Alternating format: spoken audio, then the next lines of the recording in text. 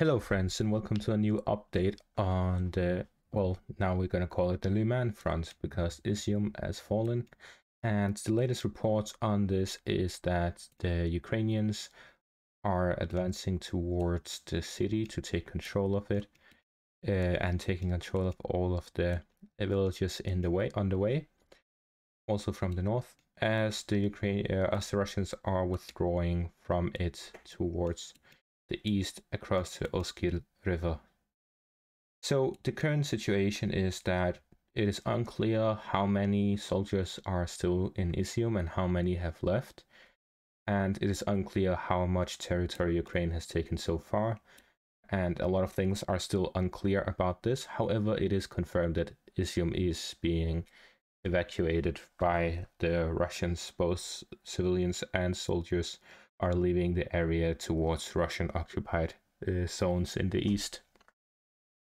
So Izium is under Ukrainian control, under de facto Ukrainian control. I have moved the map to look as if it's all under Ukrainian control. However, it is not yet, but I have done it to represent what Ukraine will have control of. And it's unclear exactly when it will happen, maybe in one hour, maybe in two days. However long it takes, They'll need to clear mines, you'll need to take the village, you need to take control, to politically, all of these things. It'll take a long time.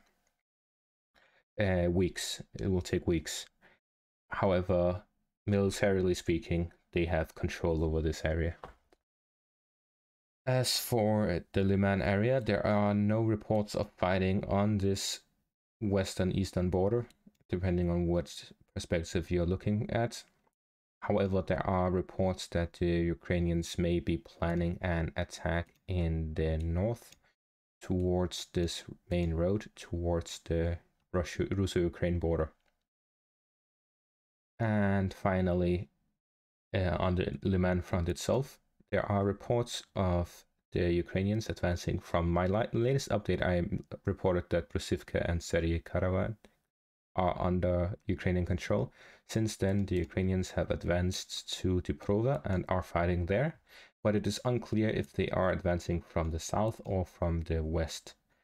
However, what is clear is that there are two pontoon crossings, one at each road, uh, as we can see here, one from Kisakitne and one from uh, Slaviansk area.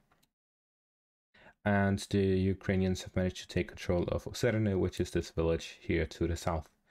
So generally, they are now advancing advancing towards Liman. However, uh, the Russians have decided to fight for Liman. So they are staying here. They are not withdrawing as they did with Izium, and they will stay and fight for Liman, uh, as has been the latest report. And the news is from Rybar as always, or Reaper as someone commented. I think Rybar sounds cooler from an English speaking person. Uh, it may sound cooler for the Russian language to say Reaper, but uh, I'm not one to judge. Thank you all for watching and have a great day.